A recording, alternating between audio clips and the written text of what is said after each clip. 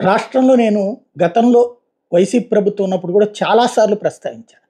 నిరుద్యోగులు సరే మొదట్లో సెక్రటేరియట్ ఉద్యోగాలు ఇచ్చారు. నో డౌట్ అది మంచి ఉద్యోగ అవకాశాలే. దాదాపు లక్షన్నర మంది. కానీ అది ఒక్కసారి ఇచ్చేసి వదిలేస్తే కుదరదు.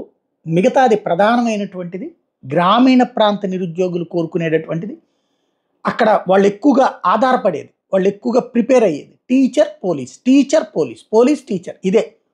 ఈ రెండు రిక్రూట్మెంట్లు చేయాలి అన్నటువంటి అనేక సార్లు ప్రస్తావించారు. బట్ వైసీపీ ప్రభుత్వం పెడచెవిని పెట్టింది. బట్ చెట్ట చివరిలో చేద్దాం అనుకుంది కానీ అప్పటికి కాలం ముగిసిపోయింది.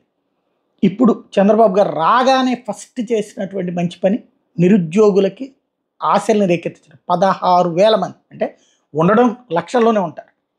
లక్షలాది మందిలో ఓ పదహారు వేల మంది అన్నప్పుడు ఇప్పుడు ఈ కనీసం ఒక మూడు నాలుగు లక్షల మంది ఉన్నారనుకుందాం. ఈ మూడు నాలుగు లక్షల మంది ప్రిపేర్ అవుతారు ఈ పదిహేను వేల కోసం. పదహారు వేల కోసం. ముందు ఒక వర్క్ బిగిన్ అవుతుంది.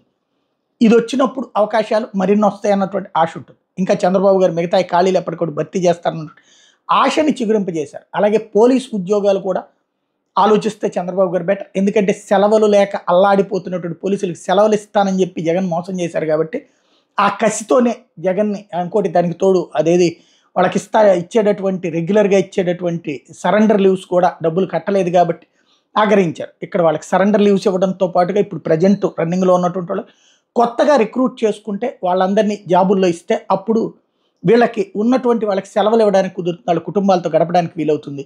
ఆ రెండు చంద్రబాబు గారు చేస్తే ఇక ఎప్పటికీ మర్చిపోలేరు.